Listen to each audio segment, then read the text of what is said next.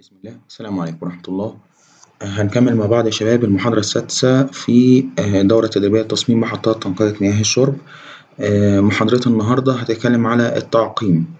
التعقيم اللي هو إزاي إن حضرتك تخلص المية من كل ما تبقى من ال contamination من التلوث ايا كان نوعه إيه؟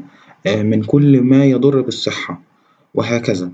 فإن حضرتك تطلع مية الشرب من المحطة وتوديها للشبكة تمام كده؟ عندك حضرتك تحديين. التحدي الأول إن حضرتك تطلع المية من المحطة سليمة تمام كده؟ سليمة صالحة للشرب من المحطة نفسها. الحاجة الحاجة التانية والتحدي التاني حضرتك إنك تمشي المية في الشبكات تمام كده؟ وتخليها تستحمل التلوث اللي جوه الشبكة لغاية ما توصل لل للأفراد في البيوت وفي المصانع وفي المتاجر وهكذا صالحة للشرب برضه. دول تحديين مهمين جدا. الوظيفة أو الحدوتة كلها بتتكلم في ال disinfection أو في التعقيم. المحاضرة دي غاية في الأهمية مهمة جدا جدا لأن هي بتتوقف عليها حاجات كتيرة. لأن هي آخر defense حضرتك بتعمله آخر دفاع آخر خطوط الدفاع حضرتك بتعملها أثناء عملية التنقية آه وبعد كده خلاص الموضوع انتهى. المية دي راحت للناس انت ما تقدرش تحصلها. لو لا قدر الله في أي مشكلة المية كان فيها تلوث أو حاجة يا التعقيم كويس وبيقفل الكلام ده وحضرتك بتبات ضميرك مرتاح يا إما لا قدر الله التعقيم يبقى في حاجة مشكلة كبيرة أو حاجة وللأسف المية بتبقى الكواليتي بتاعتها قليلة والناس بتصاب بحاجات مش كويسة. تمام كده؟ طيب هنبدأ على طول. ده ال reference بتاعنا اللي بشتغل منه كالعادة. هنا يا شباب بنعرف إيه هو التعقيم. ال disinfection يا شباب غاية في الأهمية. آخر خطوة عندك بيأمن لك المية تكون صالحة للشرب. تمام كده؟ وهو عبارة عن إضافة معقمات disinfectants. تمام كده؟ عشان خاطر أنهي تماما وأدمر تماما ال microorganism الموجودة في المية عشان خاطر لا قدر الله هي ما تسببش أي أمراض. الصورة ديت كالعادة بناخدها في كل محاضرة وبنقول إيه؟ إن إحنا خلصنا الإنتاج مدينا المية دخلنا جوه المحطة كانت أول حدود المحطة أهو ده ال flash mixer. ال flash mixer تمام كده أضفنا ال chemicals ودخلنا عملية ال coagulation flocculation تمام كده. بعد كده السيديمنتيشن رسمنا كل الفلكس اللي اتكونت تمام كده. وطلعت المية النظيفة وديناها على الفلاتر المرشحات ال filters تمام كده. خرجت المية من ال filters دخلت على ال storage أو التخزين اللي من هنا بضيف ال disinfection بتاعي أو بعمل التعقيم ال disinfection وبضيف ال disinfectant اللي هنتعرف عليهم هم أكتر من واحد اللي هو المعقمات يعني وأنواعها و... وإيه مميزة وعيب كل واحد فيهم. يبقى المحاضرة بتاعتنا يا شباب هي الحتة اللقطة دي. طب في محاضرة تاني في المعالجة في التنقية تنقية المية؟ لأ خلاص كده محاضرات تنقية المية هتنتهي هنا العمليات هتنتهي هنا. المحاضرة السابعة هتبقى مثال كامل لمحطة كاملة محلولة بالكامل مع ال layout شرح ال layout بالكامل. تمام كده؟ المحاضرة الجاية يا جماعة غاية في الأهمية يا ريت الناس. ت... تبص عليها كويس. لأنها هتلم كل المحاضرات اللي فاتت لأنه هيبقى مثال محلول بس يا ريت الناس تبص على المحاضرات كلها عشان تعرف ال design criteria بتاعت كل process أو كل point أو كل tank أو كل عملية من عمليات المحطة فلازم يكونوا عارفين الكلام ده. عشان إحنا بنشتغل على مثال فلازم الناس تكون معايا على الخط. طبعا المية بتخرج من ال storage هنا. ال storage tank أو ال ground tank بتخرج اوتوماتيك على الشبكة بيتم دفعها للشبكة. الشبكة طبعا خطوط وخزانات عالية وهكذا. تمام كده؟ وادي منظر زي ما تقول حنفية أو صنبور مية. تمام كده؟ طيب. إيه العوامل يا شباب اللي بتأثر على التعقيم نفسه؟ تمام؟ أول حاجة نوع المعقم نفسه النوع نفسه. تمام كده؟ إحنا قلنا عندنا في حدود ست أنواع هناخدهم النهارده. تمام؟ فالنوع نفسه مهم. لازم تبقى عارف إيه هو النوع. تمام وتحدده طبعا تحديد النوع يا شباب ده ليه يعني بنود كتيرة قوي هنتكلم عليها في وقتها. بعد كده ال residual concentration التركيز المطلوب ال residual المطلوب متبقي في الشبكة. تمام كده؟ بمعنى لو حضرتك بتشتغل بالكلورين فحضرتك ال dose بتاعتك بتبقى 0.5 لواحد مللي جرام اللي هو ppm يعني مللي جرام لكل لتر.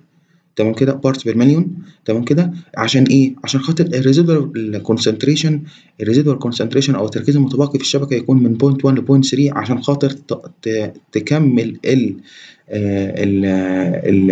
ال disinfection بتاع جوه الشبكة. ولا قدر الله لو الشبكة فيها ملوثات أو فيها بقايا بكتيريا أو طحالب أو أو أو أو الكلام ده كله ما تأثرش في المية المية يبقى فيها كلورين متبقي يقدر يضغط على البكتيريا دي كلها ويقدر يستمر لغاية ما يوصل البيوت ويكون لسه التعقيم حالته كويسة. تمام؟ والمية صالحة للشرب. تمام؟ الوقت يا شباب وقت ال contact ما بين المية وما بين المعقم نفسه.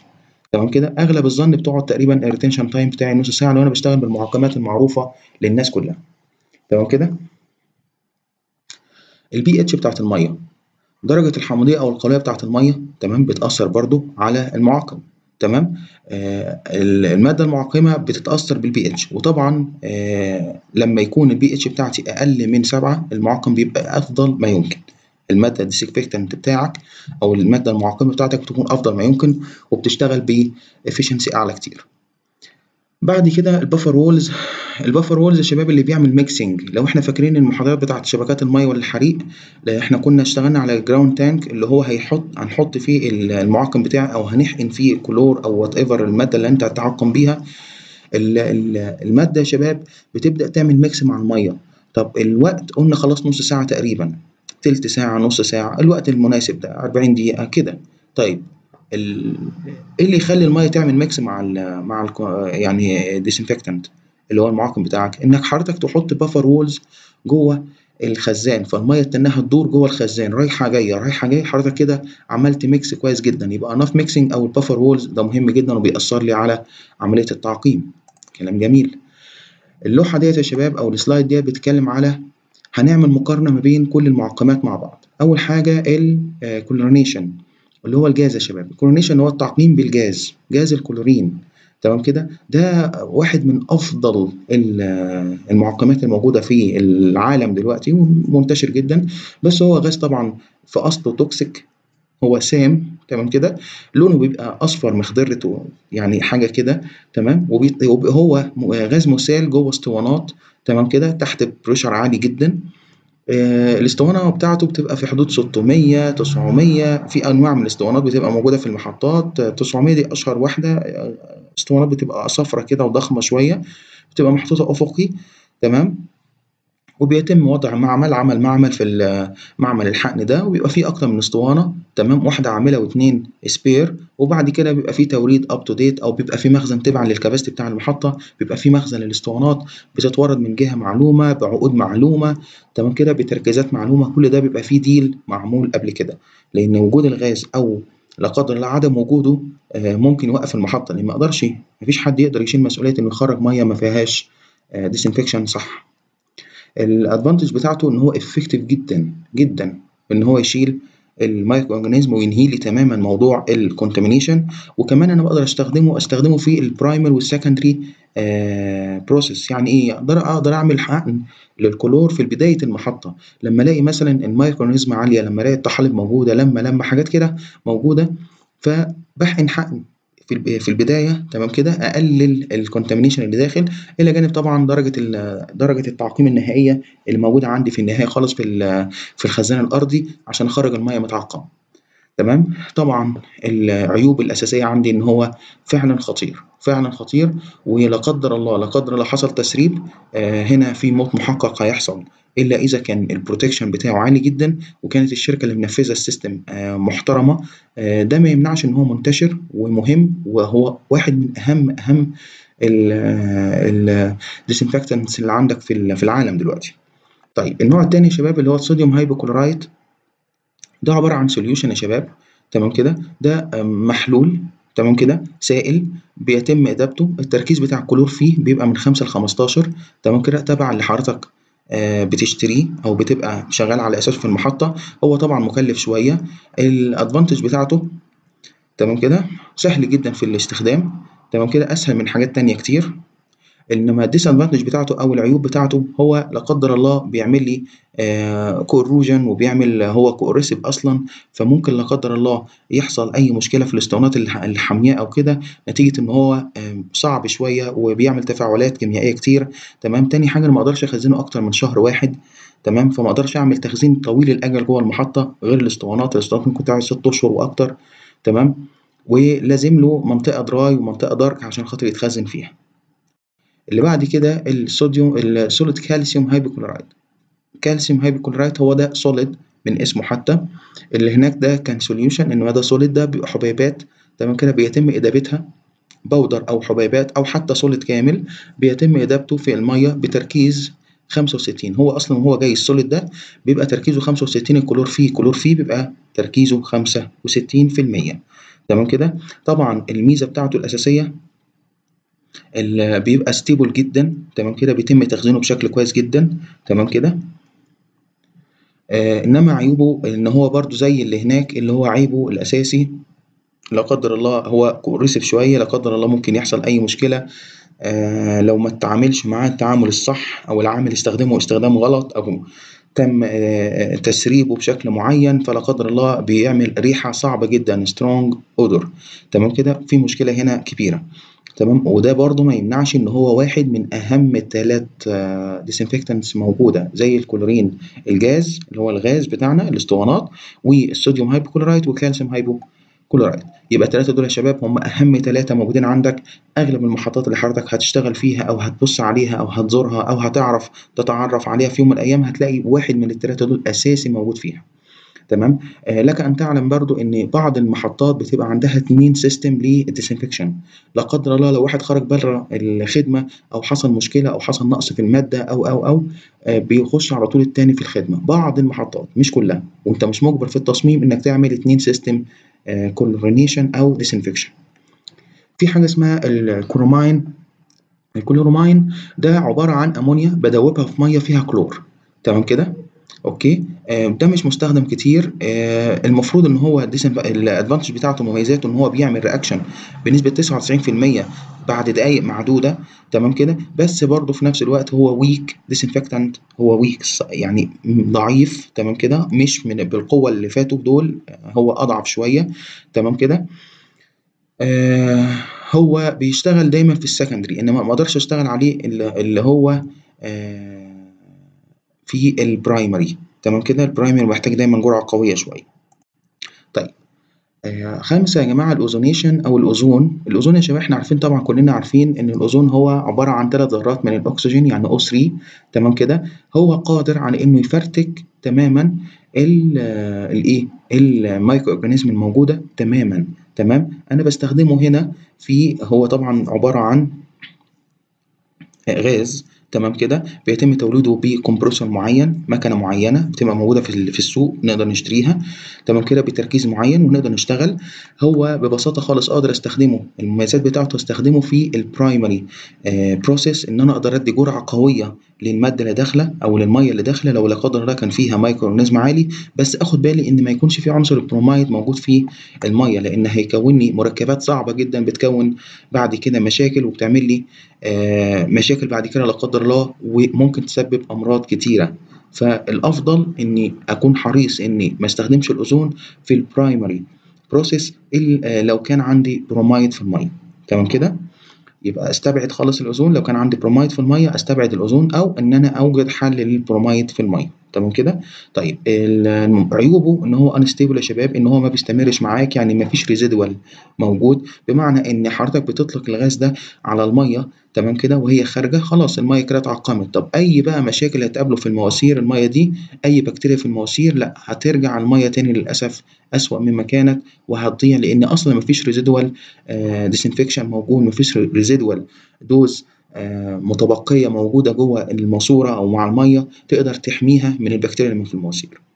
الultra violet ده رقم 6 الUV يا شباب ده special lamp تمام كده؟ لمبة معينة بتعمل لك radiation تمام كده؟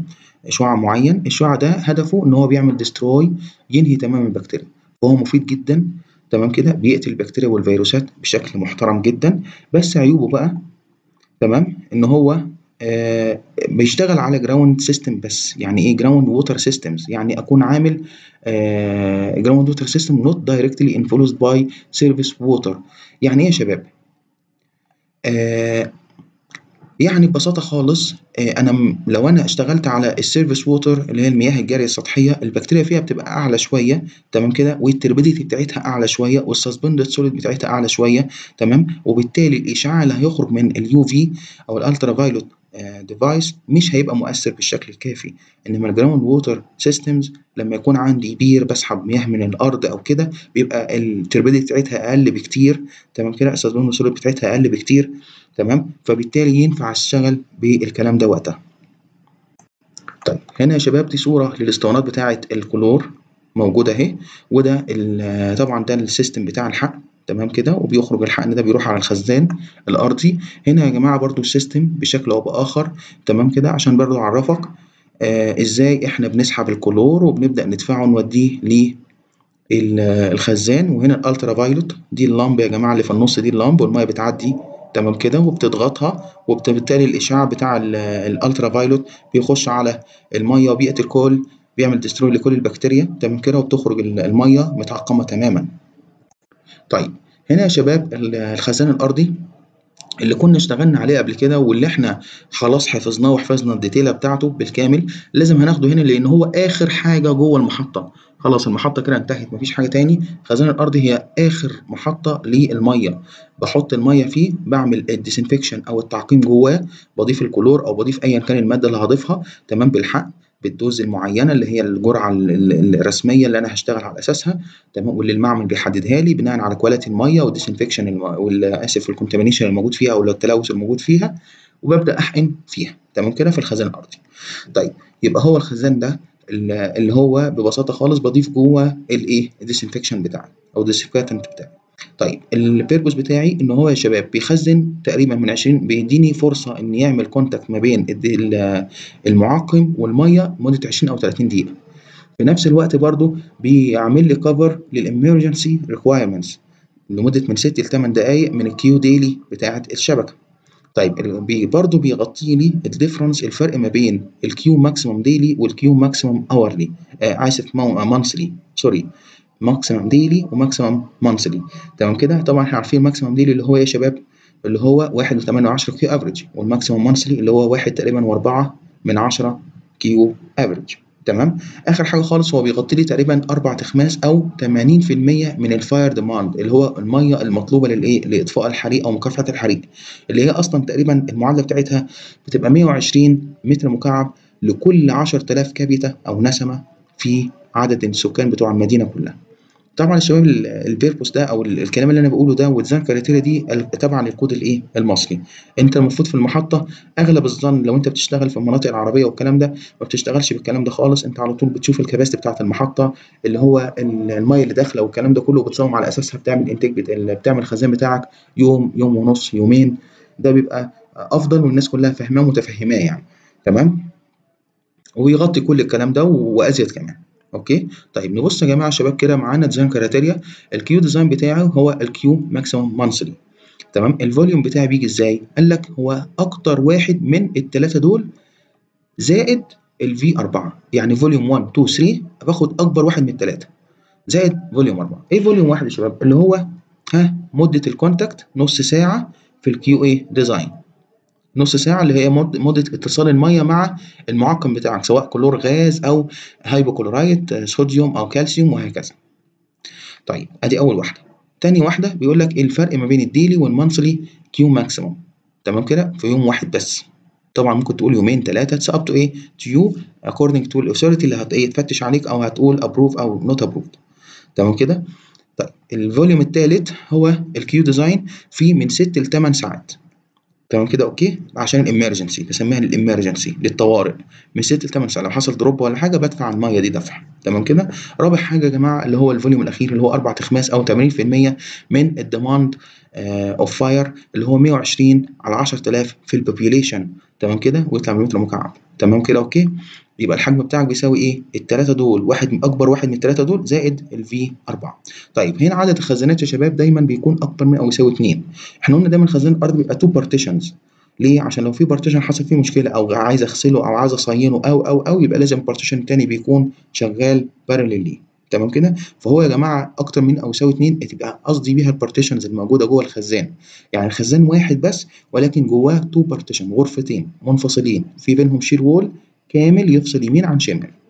تمام كده؟ طيب ال length بتاع الخزان دايمًا بيبقى آآ أقل من أو يساوي 50 وال width نفس الكلام، وقُلنا الكلام ده يا شباب بيتوقف على المهندس الإنشائي بتاعك، أنت ممكن يكون المهندس الإنشائي بتاعك أقوى من كده بكتير، فيقول لك لأ أنا ممكن أسمح لك تعمله ب60 و70 هو الراجل دارس التربة، دارس الsoil investigation report بتاعه اللي هو ال دراسة التربة تقرير دراسة التربة وعارف الpaying capacity بتاعتها وعارف إن التربة دي aggressive والّا لأ، عارف الground water table الموجود فيها قد إيه، هو راجل متمكن قدر يقول لك لأ. أوصل لغاية 70 أنا معاك ما عنديش مشكلة، يبقى حضرتك بتنفذ كلامه وبتشتغل معاه. أوكي؟ لأن حضرتك المساحات ساعات بتبقى مشكلة في الarrangement بتاع الlayout تمام؟ فحضرتك مش هتقدر تشتغل على الأبعاد ديّة مثلًا، فتروح عايز تكبر شوية في الطول وتقلل شوية في العرض أو العكس، فساعتها الطول هيوصل ل70 أو 60 لو الإنشائي اداك الضوء الأخضر اشتغل. طيب الwater depth يا شباب برضه نفس الكلام من 2.5 ل6.5 وبرضه الإنشائي للحق، بس هنا يُفضّل ما تبعدش عن الأرقام ديّة عشان خاطر الصيانة في التهوية والكلام ده بيبقى صعب شوية. لو العمق أكتر من كده بتستنى حضرتك وقت أطول في فتح ال الaccess door بتاعة ال اللي هي فتحات التهوية بتاعة الخزان عشان العامل يقدر ينزل، فلازم التهوية تكون موجودة، لو حضرتك عمقت أكتر من كده مع حجم الخزان الهوا بيبقى فاسد جوه شوية لو حضرتك فضيت هيبقى صعب شوية وهيبقى في مشكلة، فالأفضل إنك ما تعمقش أكتر من كده، ده الأفضل. تمام كده؟ طيب. هنا يا شباب شكل الخزان اللي إحنا حفظناه، والشباب اللي ما شافوش معانا خزانات قبل كده أو بدأوا الدورة دي وما خدوش الدورات التانية لو سمحتم ارجعوا لدورة شبكات المياه والحريق آآ بصوا عليها كويس جدًا، هتلاقوا الخزان ده اتشرح أكتر من مرة آآ تعبنا فيه خلاص، وحتى شبكات الري قُلنا نفس الكلام. تمام؟ أدي الbuffer walls يا شباب، أدي غرفة الداخل وأدي غرفة السحب تمام كده، وأدي الbuffer walls عفوًا السحب الداخل أهو عشان الأسهم رايحة كده أهي تمام، ده الداخل أهو وده السحب تمام، غرفة السحب طبعًا بتبقى أكبر من كده أو إن هو ساحب هنا وفي غرفة الpump station منفصلة عن الخزان عشان الsettlement والكلام ده هو الراجل مصمم على هذا الأساس. تمام؟ فهنا دخلت المَيّة أهي وبتلف داير ما يدور، لما حضرتك حقنت الكلور هنا الكلور بيلف مع المَيّة أو الdisinfectant اللي هو المعقم بتاعه بيلف مع المَيّة فبيعمل mix كامل متكامل المَيّة كلها بتبقى متعقمة 100%. تمام كده؟ ودي طبعًا الventilation pipes أو الvent pipes اللي هي موجودة فوق الخزان واضحة أهي، اللي هي من خلالها يا شباب بيحصل تهوية لسطح المَيّة ما بيحصلش إيه تعطيب أو تعفن للمَيّة. طيب هنا يا شباب دايمًا بنختم محاضرتنا بمثال محلول بالكامل. مثالنا النهارده بيقول إن عندك مدينة تمام كده، عدد سكانها 75,000 تمام، الwater consumption بتاع الفرد فيهم 200 تمام، المطلوب إن حضرتك تصمم ground reservoir أو الخزان الأرضي بتاعك، علمًا أن الworking hours بتاعتك كام؟ 20 تمام كده؟ بتجيب الQ average اللي هو الpopulation في الconsumption بتاع الفرد على 1000 طلعت المنظر ده، حضرتك بعد كده بتجيب الQ monthly 1.5 Q maximum monthly 1.5 في الQ average. تمام كده، Q daily 1.8 في Q average. بعد كده maximum daily آآ طلع بالرقم ده، بعد كده حضرتك بتبدأ تشتغل على هذا النساق، فبتقول والله الV1 بتساوي آآ Q design في نص ساعة. طلعت V1 الV2 بتساوي من 6 ل8 ساعات Q design. خدت ال8 ساعات وضربتها في Q design. الV2 اللي هي نفس الكلام ده، حضرتك خلي بالك هنا بتقسم على 20 ساعة. تمام كده، لأن حضرتك جبت هنا في اليوم واليوم عندك هنا عشان تحوله لhour لازم تقسم على كام؟ أيوه الله ينور عليك. مش 24 لأن هو قايل في المسألة كام؟ 20 فلازم حضرتك تقسم على 20 لأن حضرتك هنا بتضرب في وحدة ساعة، نص ساعة دي يعني بالhour. تمام كده، هنا 8 ساعات بالhour. فلازم حضرتك تخلي ال الday هنا تخليه hour. فتقسم حضرتك على 20 أهو، واضحة جدًا طبعًا. مسألة سليمة وما فيش مشاكل. يبقى V2 طلع 9000 V3 الفرق ما بين الdaily والmonthly طلع في حدود 4500 V4 اللي هي أربع أخماس الfire demand.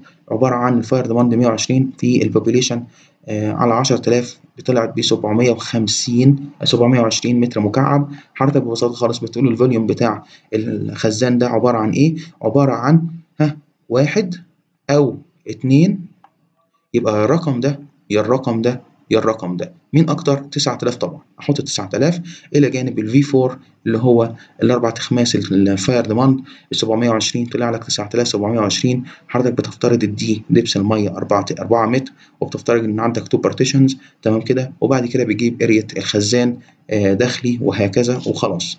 حضرتك ببساطة خالص بترسم الديتيلة الhydraulic detail وبتبعتها لمهندس الإنشائي يبدأ يشتغل ومهندس الميكانيكا يبدأ يعمل المضخات بتاعته عشان يرفع للشبكة، طبعًا الك حتة الشبكة والكلام ده كله اتكلمنا عليها في دورات ال الدورات التدريبية اللي هي تصميم شبكات المياه والحريق إلى جانب طبعًا شبكات الري واتكلمنا عليها بالتفصيل.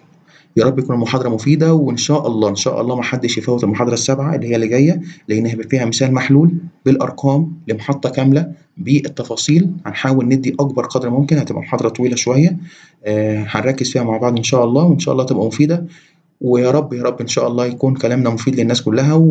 ونكون بنعرف نقدم حاجة كويسة إن شاء الله للناس. شكرا يا شباب والسلام عليكم ورحمة الله.